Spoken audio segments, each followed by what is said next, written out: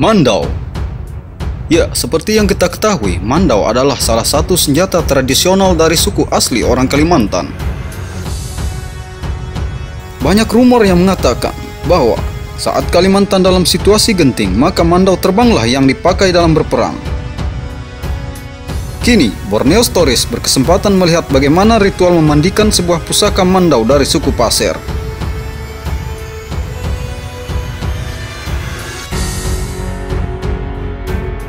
Ritual diawali dengan memandikan sebuah kendi, yang di mana suku Pasir menyebutnya tepayan.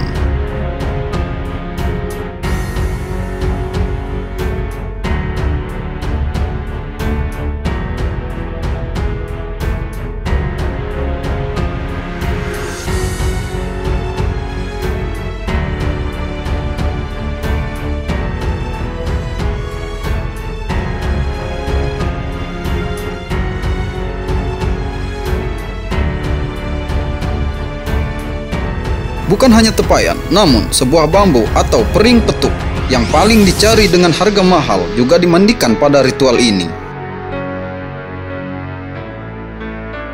Konon, pering petuk tersebut berharga bisa mencapai ratusan juta rupiah. Untuk menyentuh pering petuk tersebut, jangan sekali-kali untuk berpikir jahat. Karena jika menyentuh dengan berpikir jahat, maka fatal akibatnya.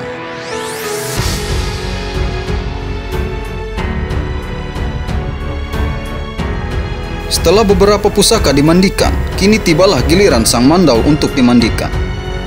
Panjang mandau ini yaitu sepanjang 1 meter.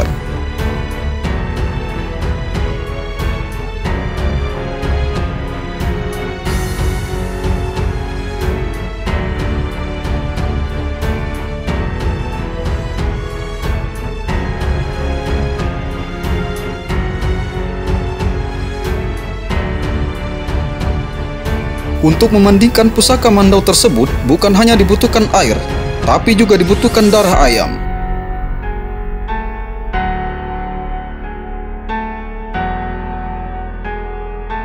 Pusaka mandau ini diperkirakan sudah berumur ratusan tahun. Pemilik pertama pusaka ini yaitu bernama Senseo. Menurut pemilik pusaka saat ini, dia adalah keturunan kelima yang mewarisi pusaka tersebut.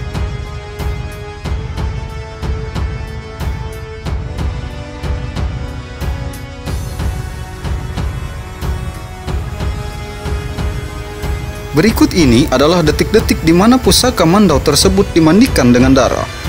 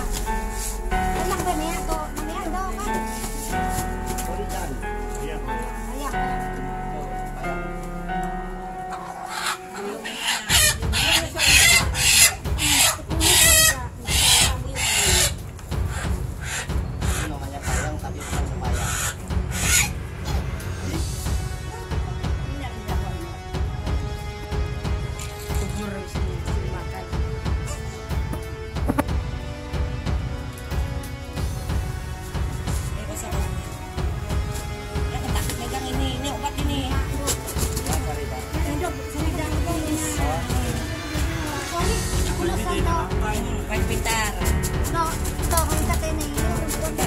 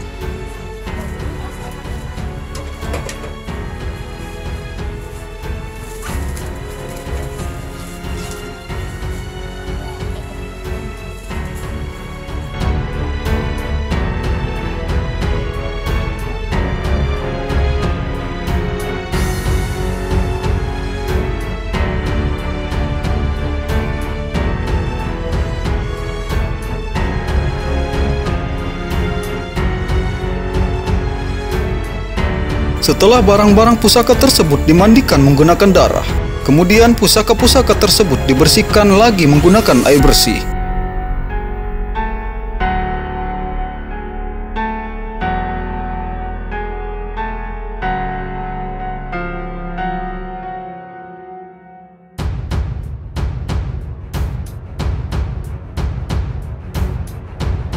Konon, jika barang-barang pusaka ini tidak dimandikan setiap tahun, terutama pusaka mandau, maka mandau tersebut akan mencari korban sendiri. Hingga saat ini, pusaka mandau ini dijaga dengan baik oleh sang empu. Tak jarang pula, mandau ini bisa menghilang untuk beberapa hari tanpa diketahui oleh sang empu. Dan hari-hari berikutnya, mandau tersebut kembali lagi ke tempat asal di mana tempat semula diletakkan.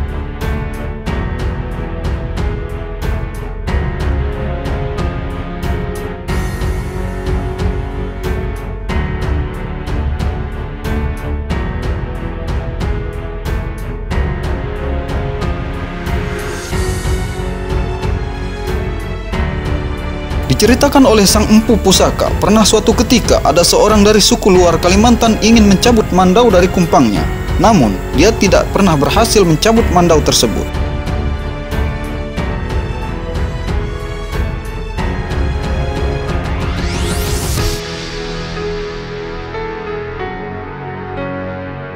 Marilah kita jaga adat istiadat dan budaya kita orang asli Kalimantan.